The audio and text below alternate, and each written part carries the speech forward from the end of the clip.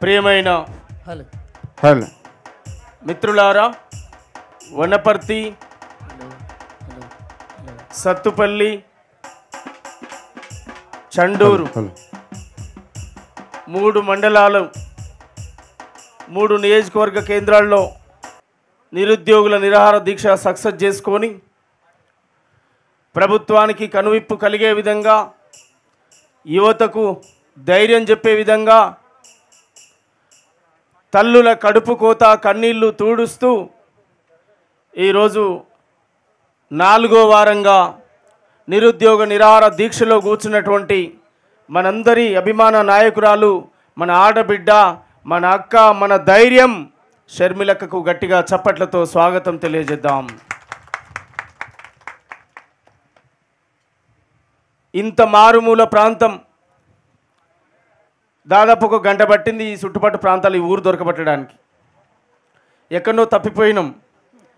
ఎట్లా పోవాలి ఎట్లా పోవాలంటే ఇంకొక గొల్లపల్లి ఏనో పక్కన ఉందట. ఆ గొల్లపల్లి పోయి ఆ నుంచి ఇటు రిటర్న్ అయ్యి అటు రిటర్న్ అయ్యేసరికి ఇంత సమయం పట్టింది ఇంకా కొంతమంది కళాకారులు వస్తారు వాళ్ళ దారిలో ఉన్నటువంటి పరిస్థితి. ఇంత మారుమూల ప్రాంతంలో పచ్చని అడవులు పంట పొలాలు ఒక అడవిని తలపించేటువంటి ఈ ప్రాంతంలో ప్రజా సమస్యల కోసం పట్టణమైనా పల్లె అయినా అడివైనా ఎక్కడికైనా నేను ముందే ఉంటా అని చెప్పి తన అడుగు పాదాలు మోపినటువంటి నా అక్కకు తల వంచి వందనాలు తెలియజేస్తూ ఉన్నాను.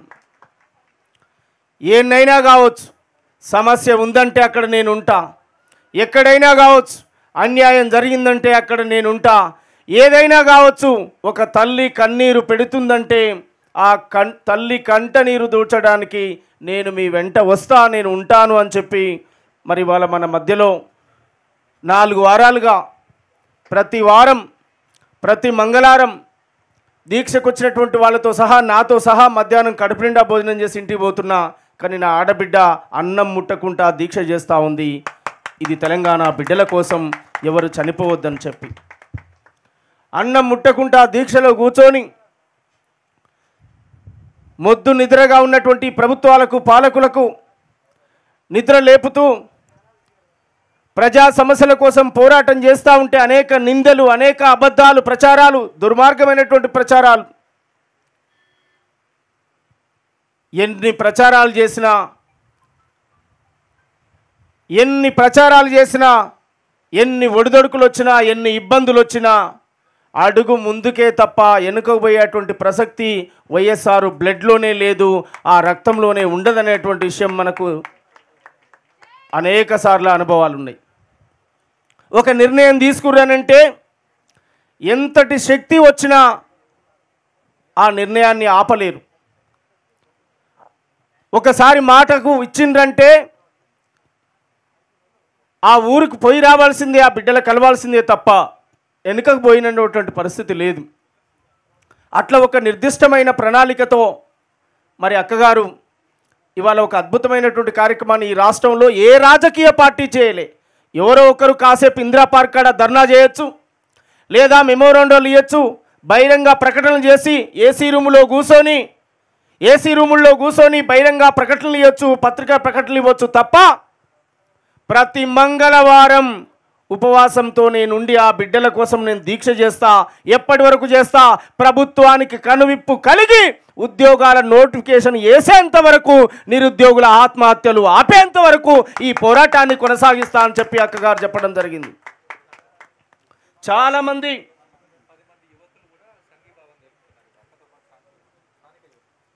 స్థానికంగా ఉన్నటువంటి యువకులు పది మంది అక్కతో పాటు సాయంత్రం దాకా దీక్షలో కూర్చోవడానికి వాళ్ళు సిద్ధపడి కూర్చుండ్రు. వాళ్ళ గట్టిగా చప్పట్లతో వందనాలు తెలియజేద్దాం. ఇట్లా ఇది ప్రజల విషయం. ఇది విద్యార్థుల సమస్య. ఇది నిరుద్యోగుల సమస్య. ఇది ఈ రాష్ట్రంలో ఉన్నటువంటి బిడ్డల సమస్య. ఈ సమస్యను తన భుజాన వేసుకొని నేను ఖచ్చితంగా మీ తరపున నేను పోరాడుతా అని చెప్పినటువంటి మన అక్కగారికి మనం ప్రత్యేకంగా వందనాలు తెలియజెప్పాలి. ఒక్క వందనాలే కాదు వాడోడో వీడోడో చేసేటువంటి అనేక కామెంట్లను పక్కకు తెలిసి వేలాదిగా లక్షలాదిగా అక్క వెంట మనం కదలాలి తెలంగాణ రాజకీయాల్లో. ఇవాళ ఒక అద్భుతమైనటువంటి ప్రతీక అద్భుతమైనటువంటి ఒక దిక్సూచి ఒక ధైర్యం తెలంగాణ రాజకీయాల్లో రాజన్న బిడ్డగా ఈ గడ్డ ప్రజల బిడ్డల హక్కుల కోసం మాట్లాడడానికి కొట్లాడడానికి చివరి వరకు డెబ్బై రెండు గంటల పాటు హైదరాబాద్లో నిరాహార దీక్ష చేసి చెయ్యి విరిసి బట్టలు చింపి అనేక అవమానాలు పరిచినా గుండెను రాయి నిబ్బరం చేసుకొని గుండె ధైర్యంతో తండ్రి పంచినటువంటి ఆ బ్లడ్ ఏ అక్రమ అరెస్టులు ఆపలేవు ఏ పోలీస్ స్టేషన్లు తిప్పినా.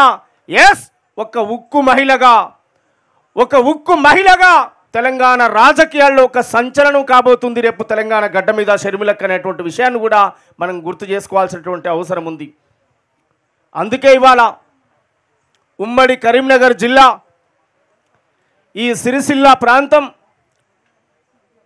చేనేతల ఆకలి చావులతో పాటు నిరుద్యోగ ఆత్మహత్యలు రైతన్నల ఆత్మహత్యలు తెలంగాణ ప్రత్యేక రాష్ట్రం వచ్చిన తర్వాత పెరుగుతూనే పోయినాయి తప్ప తగ్గలే. ఈ ప్రాంతం నక్సలైట్ పోరాటాలకు కేంద్రం నిలయంగా మారినటువంటి గడ్డ. ఎన్నో విప్లవ పోరాటాలకు ఈ నిమ్మపల్లి గొల్లపల్లి ఈ ప్రాంతాలన్నీ కూడా జగిత్యాల రైతాంగ పోరాటాన్ని స్ఫూర్తినందుకొని ఇక్కడ ఉద్యమాలు చేసినటువంటి చరిత్ర ఈ ప్రాంతంలో పుట్టినటువంటి బిడ్డలకు ఉంది ప్రతి ఊరుకెళ్ళినా ఒక చరిత్ర ఈ గడ్డ మీద ఉంది. ఇది ఉత్తర తెలంగాణ గుండెకాయగా అనేక విప్లవ పోరాటాలు నడిచినటువంటి గడ్డ. ఎంతో చైతన్యవంతమైనటువంటి ప్రాంతం. ఈ చైతన్యవంతమైనటువంటి ప్రాంత బిడ్డలారా మీరు ఆలోచించమని చెప్పి అడుగుతా ఉన్నాం. ఒక రాజకీయ పార్టీతో తెలంగాణ రాజకీయాల్లో ఒక ఆడబిడ్డ ముందుకొచ్చింది. ఈ తెలంగాణలో అనేక రాజకీయ పార్టీలు చూసినాం. ఓట్లు వేయించుకుండ్రు సీట్లకి ఎక్కిండ్రు మాట ఇచ్చిండ్రు మర్చిపోయిండ్రు. కేవలం రెండు వేల నాలుగు నుంచి రెండు వేల తొమ్మిది వరకు సాగినటువంటి ఒక పరిపాలన తప్ప నువ్వు ఏ పరిపాలన చూసుకున్నా ప్రజలకు ఒరిగిందేమీ లేదు అందిందేమీ లేదు. ఇవాళ అంతకంటే ఉన్నతమైన రెట్టింపు ఉత్సాహంతో రాజన్న సంక్షేమాన్ని మళ్ళీ ఈ గడ్డ మీద అమలుపరచాలంటే షర్మిలక్క నాయకత్వంలో తెలంగాణ రాజకీయాల్లో మనమైనటువంటి ఒక ప్రత్యేకమైన ముద్ర వేసి ప్రజలకు పరిపాలన అందించాల్సినటువంటి అవసరం ఉంది. చేతగాని పాలకులు గద్దె మీద ఉన్నారు. చేతగాని అవగాహన లేనటువంటి వాళ్ళు గద్దె మీద ఉన్నారు.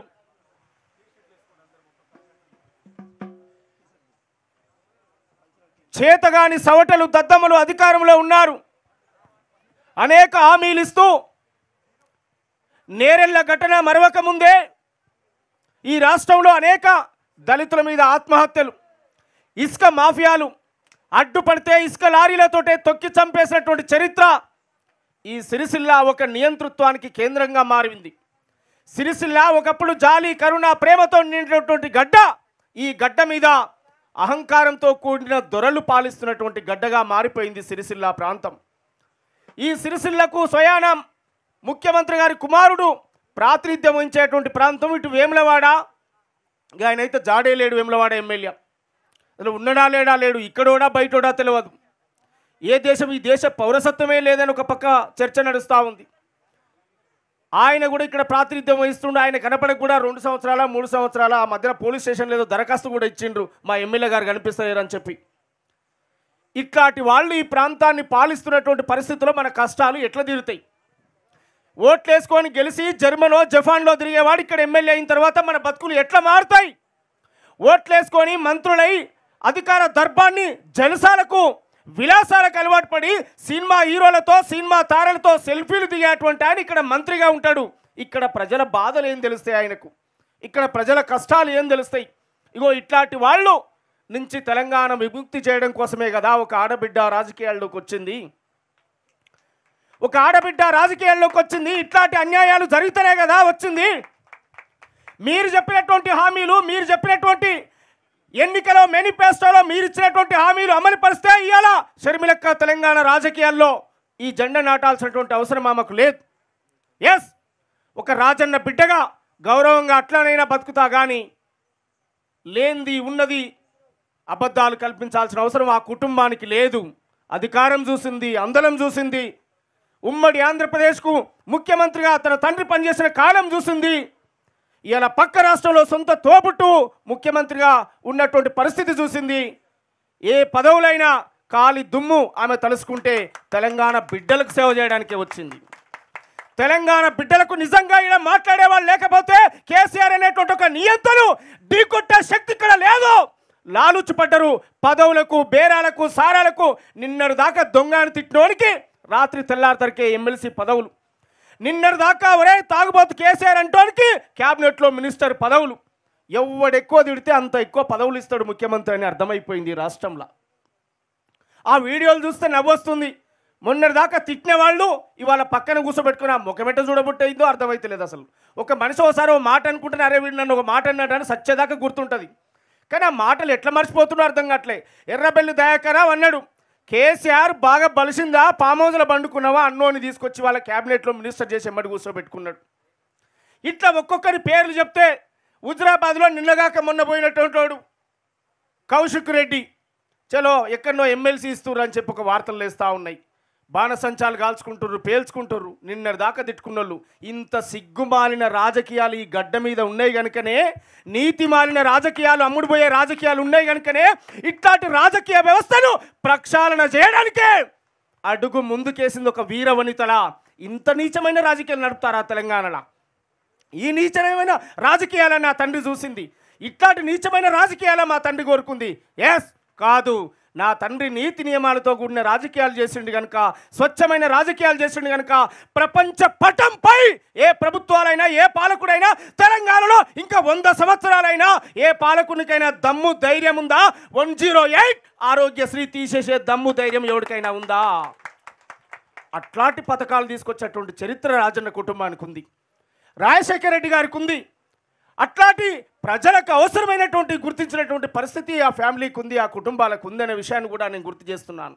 ఏ ప్రభుత్వాలైనా రావచ్చు పెన్షన్ అనేది పెరగొచ్చు తగ్గొచ్చు ఇంకేమైనా జరగవచ్చు ఇంకో పథకాలు ఉండొచ్చు పోవచ్చు ఆయా గవర్నమెంట్ల పరిస్థితుల దృష్ట్యా మార్పులు జరగవచ్చు కానీ ప్రజలకు నిత్యావసరంగా కనీస అవసరాలుగా విద్య వైద్యం ఇవాళ ఫీజు రియంబర్స్మెంట్స్ కానీ ఆ తర్వాత ఆరోగ్యశ్రీ కానీ వన్ జీరో ఎయిట్ కానీ వన్ జీరో ఫోర్ కానీ ఇట్లా వారు చేసినటువంటి కార్యక్రమాలన్నీ కూడా ప్రజల్లో ఎప్పటికీ వారి గుండెల్లో నిలిచిపోయేటువంటి పరిస్థితి. కొన్ని లక్షల కుటుంబాలకు మేలు జరిగినటువంటి పరిస్థితి ఆ కుటుంబాలకు ఆ త్యాగానికి మరి రాజన్న ఫ్యామిలీకి ఆ కుటుంబానికి ఉన్నది. వారు చేసినటువంటి ఆ సర్వీస్ రేపు భవిష్యత్తులో మరింత సంక్షేమం అందించడం కోసం భవిష్యత్తులో మరింత ముందుకు ఈ రాష్ట్రాన్ని అభివృద్ధి ప్రదంలో నడిపించడం కోసం తెలంగాణ గడ్డ మీద మరి అక్కగారు ఒక స్వచ్ఛమైనటువంటి జెండా మీరు ఆలోచించండి. ఈ జెండా ఎక్కడి నుంచో పరాయిదో కిరాయిదో ఎవడో సృష్టించిందో ఎవడో తయారు చేసిందో కాదో ఈ జెండా ఈ జెండా అర్థాలు మూడు అర్థాలతో కూడుకున్నటువంటి జెండా. ఈ జెండా అర్థాలు మూడు అర్థాలతో కూడుకున్నటువంటి జెండా. మూడు అర్థాలు ఏంటి? సంక్షేమం స్వయం సమృద్ధి సమానత్వం ఈ మూడు జెండాకు అర్థమున్నటువంటి. సంక్షేమం అంటే అర్థమే. సంక్షేమానికి సింబాలికే. వైఎస్ రాజశేఖర రెడ్డి గారు. తెలంగాణ మ్యాప్లో రాజన్న ఫోటో పెట్టుకున్నాం. ఎందుకంటే సంక్షేమానికి పెద్దపీట వేసినటువంటి మహానాయకుడు కనుక రాజన్న ఫోటో పెట్టుకున్నాం. ఇక రెండో అర్థం తెలంగాణ సింబలిక్. రేపు వచ్చేది దసరా. దసరా బతుకమ్మ. ఈ ప్రపంచంలోనే తెలంగాణలో ఒక అద్భుతమైనటువంటి అందమైన పండుగ బతుకమ్మ పండుగ దసరా పండుగ. నా దసరా పండుగ వచ్చిందంటే బతుకమ్మ పండుగ వచ్చిందంటే కవితమ్మ వచ్చో బతుకమ్మ ఆడనేర్పలే తెలంగాణ సమాజానికి కేసీఆర్ వచ్చినాక పాలపిట్టను చూడలే. నేను కాదు తాత ముత్తాత నాడు వందల ఏండ్ల సంవత్సరాల చరిత్ర. దసరా నాడు పాలపిట్టను చూడబోతారు. అగో మా జెండాలో పాలపిట్ట కలరు పెట్టినాం. అది తెలంగాణ సింబాలిక్ అనేటువంటి విషయాన్ని చెప్తా ఉన్నాం.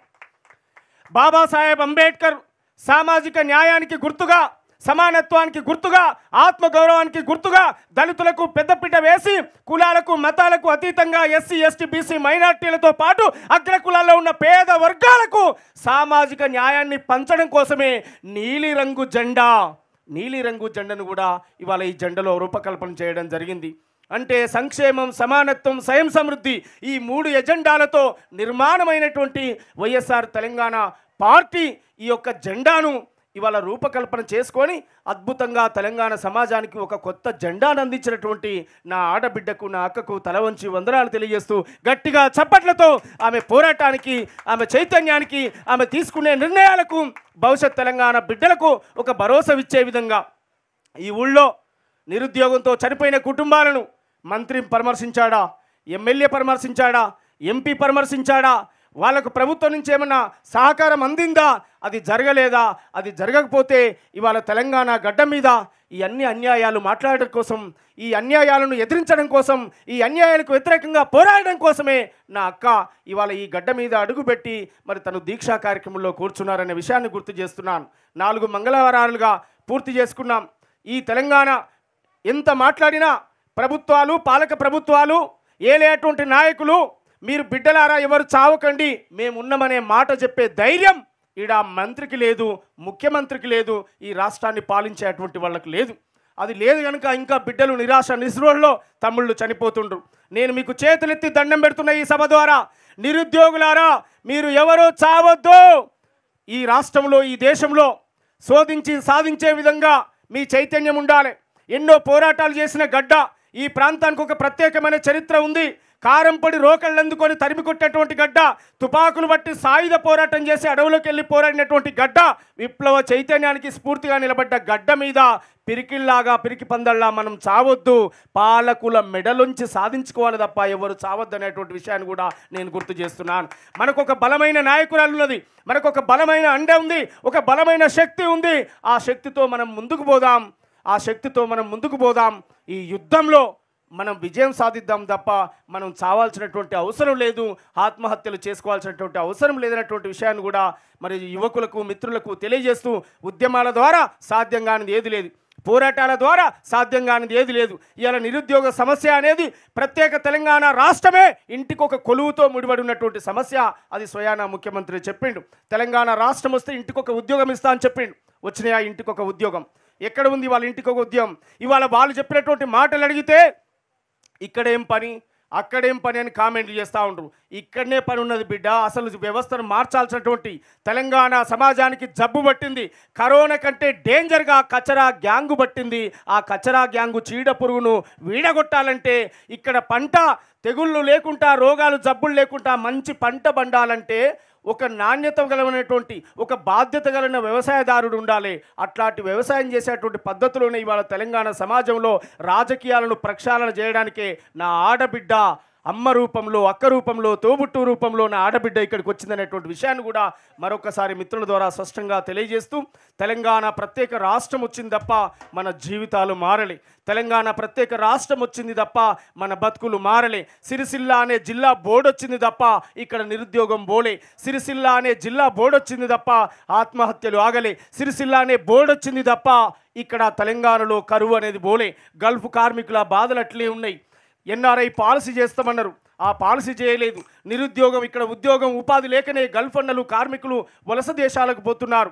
వంద ఏ వే వంద సంవత్సరాల కొద్ది గడిచిన కుటుంబాలను పిల్లలు వదిలేసి అక్కడనే ఉంటున్నారు. అక్కడి నుంచి ఇటు తిరిగి రాలేక ఈ నుంచి అక్కడ పోతే అక్కడ వీసా సమస్య అక్కడ ఉన్నటువంటి అనేక సమస్యలు అక్కడ కంపెనీలతో సమస్య పెద్ద పెద్ద బలసిన బడా బడా భూస్వాములు సేట్లు మరి అక్కడ ఉన్నటువంటి కార్మికులను అనేక ఇబ్బందులు పెడుతున్నటువంటి సందర్భం ఉంది. సచ్చిన శవం కూడా రెండు సంవత్సరాలకు మూడు సంవత్సరాలకు లేదా ఆ శవం దిక్కు లేకుండా పడిపోయి అసలు ఉన్నడా లేడా? అడ్రస్ తెలియనటువంటి కుటుంబాలు తెలంగాణలో ఉన్నాయి. ఇంకెంతకాలం ఈ కన్నీళ్ళు? ఇంకెంతకాలం ఈ వలపోత? ఇంకెంతకాలం ఈ కడుపు కోత ఇంకెంతకాలం ఏడవాలి? ఇంకెంతకాలం ఉండాలి? ఇంకెంతకాలం ఈ దుఃఖం ఉండాలి? ఈ దుఃఖం పోవాలన్నా ఈ బాధ పోవాలన్నా మన బతుకులు మారాలన్నా ఆల్టర్నేటివ్ రాజకీయ వ్యవస్థ తెలంగాణలో నియంత పాలన కొనసాగుతూ ఉంది. మాట్లాడేవాడు లేకపోతే కేసీఆర్ చెప్పింది రాజ్యం అవుతుంది కనుక మా బెదిరించేవాడు లేకపోతే కేసీఆర్ ఏం చేస్తే అదే పని అవుతుంది కనుక అదే చట్టం అవుతుంది న్యాయం అవుతుంది కనుక ప్రజలకు అనుకూలమైన చట్టాలు జరగ జరగాలి తప్ప కేసీఆర్ చుట్టాలకు అనుకూలమైన చట్టాలు ఇక్కడ వద్దనేటువంటి విషయం కోసమే ఇవాళ ఆల్టర్నేటివ్ రాజకీయ వ్యవస్థ అవసరం ఉంది తెలంగాణ గడ్డ మీద. ప్రజలకు అవసరమైన చట్టాలు కావాలి.